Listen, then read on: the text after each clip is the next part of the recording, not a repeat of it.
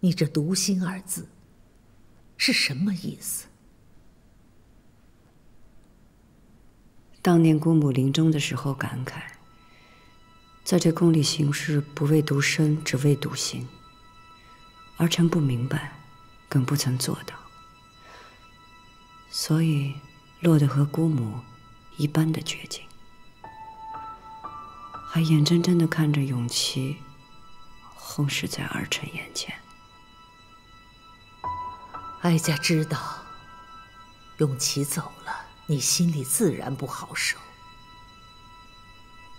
皇额娘，儿臣是个无用之人，为皇后的时候就保不住景嗣和永景，如今永琪走了，只剩下永基。可是儿臣又被禁足在翊坤宫，册宝也被拿走了，实在不知道如何保护自己的儿子，还请皇额娘能够成全，保住永基，保住爱新觉罗氏和乌拉那拉氏唯一的一丝血脉。保住？你这话什么意思？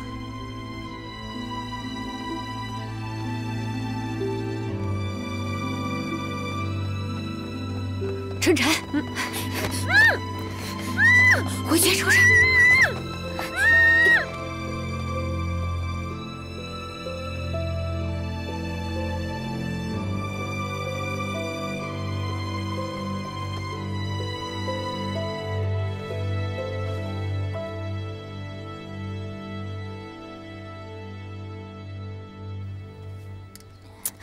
你怎么笨手笨脚的？春蝉呢？把他给我叫来。主儿，春蝉姑姑还没回来呢。这春蝉跑哪儿去了？主，主，怎么了？慌慌张张的。主，方才有人瞧见荣佩和叶心带走了春蝉，也不知道去了哪儿。什么？那人不会是看走眼了吧？不会有错的，奴才仔细问过了。那还不快去找？奴才这就带人去寻。等等，悄声些，不要让别人知道。这，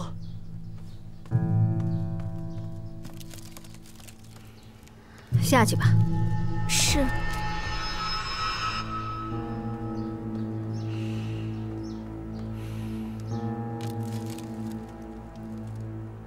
春蝉，你还是如实说吧。这些事。是不是都是皇贵妃做的？你到底说不说？不干我们主的事儿，奴婢也什么都不知道。替皇贵妃办事的兰翠、晋忠、云角都死了。春蝉，你知道皇贵妃那么多事，你想她下一个灭口的会是谁？哼，你们就不用费尽心思挑拨我们主仆关系了。奴婢什么都不知道。容妃，咱们走吧。是。等天黑了再放人。好。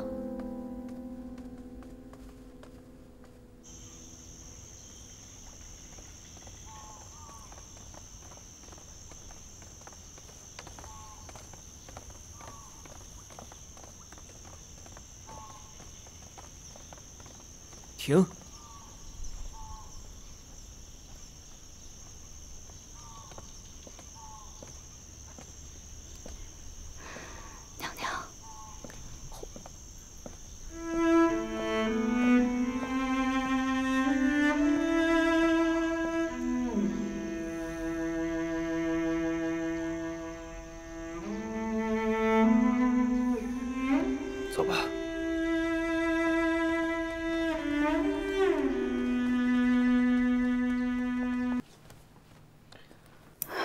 娘娘，今儿你劳累一天了，实在是太劳心了，不如早些歇息吧。我不累。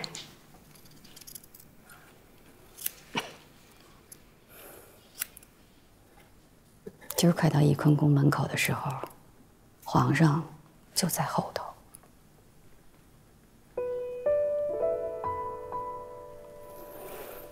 您其实都知道，就是不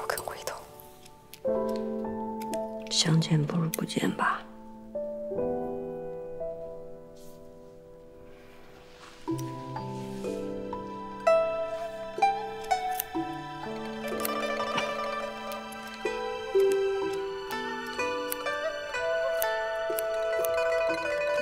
皇祖母，云娘娘已经回来了，我为什么还要挪去慈宁宫，跟皇祖母住呢？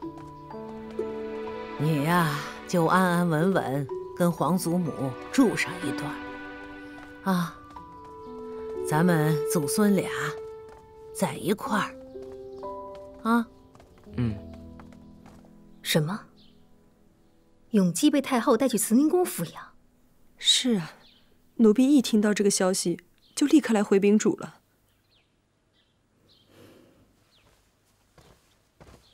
他们不会是察觉到什么了吧？应该不会，奴婢做事一向小心谨慎的呀。那这好好的，太后为何要从协芳殿接入永基呢？这个奴婢也不知道啊。或许是因为太后可怜十二阿哥吧。那御膳房那儿呢？慈宁宫有小厨房，这御膳房的饭菜恐怕是再也不能送到十二阿哥跟前了。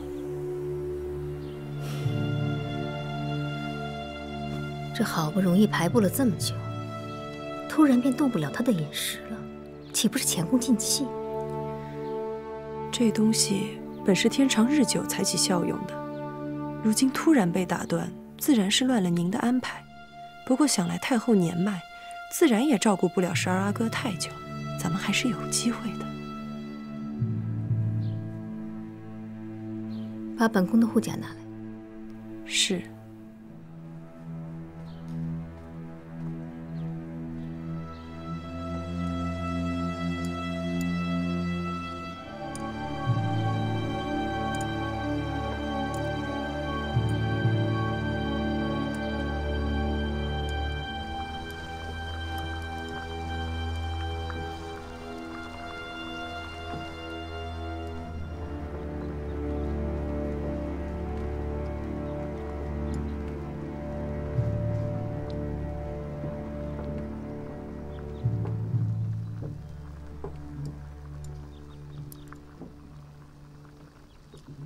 好不容易祖孙三个一起吃饭，个个食不甘味的。永基，皇祖母小厨房的膳食不香，到了你皇阿玛这里还不合胃口。皇祖母，孙儿想吃御膳房的饭菜。这就是御膳房的饭菜，有何不合胃口啊？没有儿臣在上书房时的好吃。回皇上的话，十二阿哥在上书房时，的确进得香。慈宁宫的小厨房也就罢了，都是御膳房做的饭菜，怎么永基就非得惦记着上书房里吃的那些呢？儿臣吃不下了。放肆！瞧你说话举止，还有没有点规矩？儿臣知罪。罢了。与其责怪永基，不如去查查御膳房给他做饭菜的厨子。若真是合口味，那就继续给他做着。皇娘说的是。傅家，哎，你去问问。是。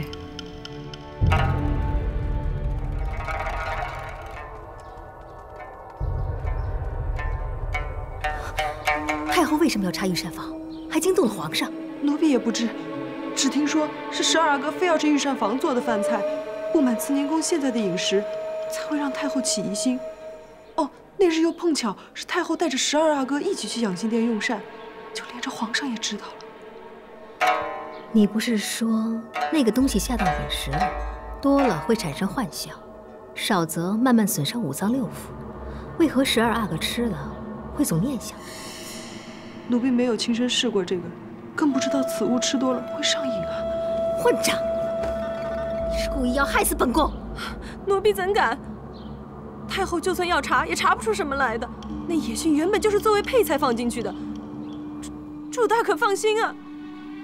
放心，本宫看来未必是太后疑心吧？